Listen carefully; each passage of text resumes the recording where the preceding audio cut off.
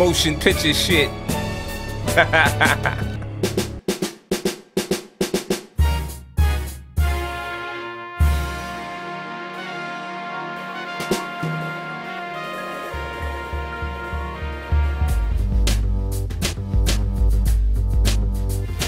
This is Krystal Blue with All Access DVD. I am a producer and a vocalist, and also a part-time DJ too. Uh, everything that I've been that I make, I've been making since I was 14 years old. I've been producing it, you know, going through my life. Also making two albums, two singles. All of my music is mostly about everything that I go through in my life, everything that I've been through. So it's all it all comes from the heart. It's real deep stuff. So that's what I do.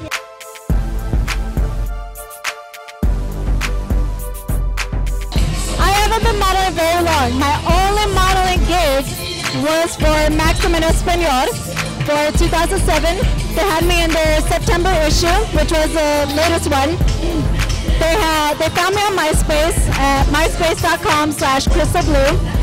And they listened to my music, they liked what they heard, and they contacted me and they were like, hey, you know, Krystal Blue, we really liked your stuff, we really liked what you do, and we want to feature you in our new in our new issue coming out that has the top hottest Lat- Latina musicians of 2007.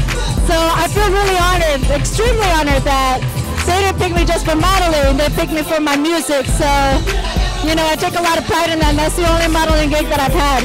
Every other modeling, you know, gig that I've had has only been, you know, just for my album covers or for my music. So, again, here's here's my number one modeling gig coming out, my first and only for Maxim en Español, top hottest Latina of 2007, with along along other names, other 15 artists. So I take a lot of pride in that. My third album that I'll be coming out with.